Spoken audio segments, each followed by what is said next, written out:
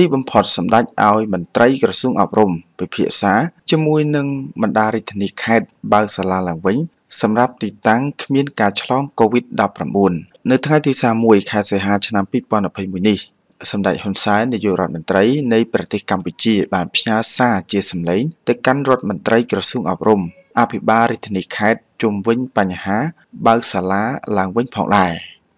សម្ដេចបានថ្លែងថាកន្លងទៅការបិទសាលាសម្ដៅការការពារលោកគ្រូអ្នកគ្រូសិស្សានុសិស្សក្នុងក្របខ័ណ្ឌទូទាំងប្រទេស ដែលជាការចាំបាច់ក្នុងការការពារអាយុជីវិតលោកគ្រូអ្នកគ្រូយុវជនយុវនារីក៏ប៉ុន្តែដោយអាស្រ័យពិនិត្យឃើញថា នៅក្នុងប្រទេសកម្ពុជាជំងឺ Covid-19 បានឆ្លងដាច់ដោយដុំដោយដុំហើយប្រមូលផ្ដុំនៅទីប្រជុំជនទីក្រុងភាគច្រើនឯតំបន់ជនបទ គឺហាក់មានកើតតិចតួច ហើយខេត្តខ្លះស្ទើរតែពុំមានទៀតផងហើយសាលាទាំងអស់ត្រូវបានបិទសម្ដេចនាយករដ្ឋមន្ត្រីបានថ្លែងទៀតថាដូច្នេះ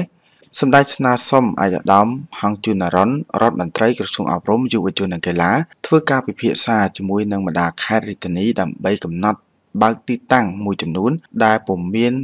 ជំងឺឆ្លងកើតឡើងសម្ដេចថ្លែងថាការបើកសាលានៅតាមជនបទដែលពុំមានការឆ្លង អាចមានលទ្ធភាពបើកនោះ ដោយមិនចាំបាច់រងចាំទូទាំងប្រទេសឬទូទាំងខេត្តឡើយ ដោយធ្វើការជ្រើសរើសតាមស្រុកតាមភូមិតាមឃុំ ដែលអាចបើកសាលាបានឲ្យសិស្សបានចូលសិក្សា ដោយរក្សាកម្រិតរក្សាវិធានការសុខាភិបាល ដើម្បីឲ្យកុមារបានចូលរៀនប្រសិនបើបន្តបិទតទៅទៀតដោយមិនមានការពិនិត្យមិនបានញែកនាំឲ្យសិស្សបោះបង់សាលារៀនសិស្សភ្លេចអក្សរជាដើម បាទអំពូមីងពុកម៉ែបងប្អូនជាទីគោរពរាប់អាន បាទនេះតើតើទៅនឹង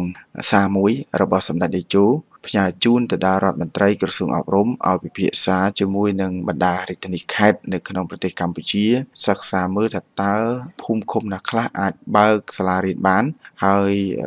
ជាភូមិឃុំដែលមិនមានករណីឆ្លង COVID-19 ផងដែរនោះបាទបាទហើយចំពោះអត្ថបទព័ត៌មាននេះខ្ញុំបាទសូមបញ្ចប់តែប៉ុណ្ណេះជួបគ្នានៅវីដេអូក្រោយៗទៀតសូមអរគុណសូមគោរពលា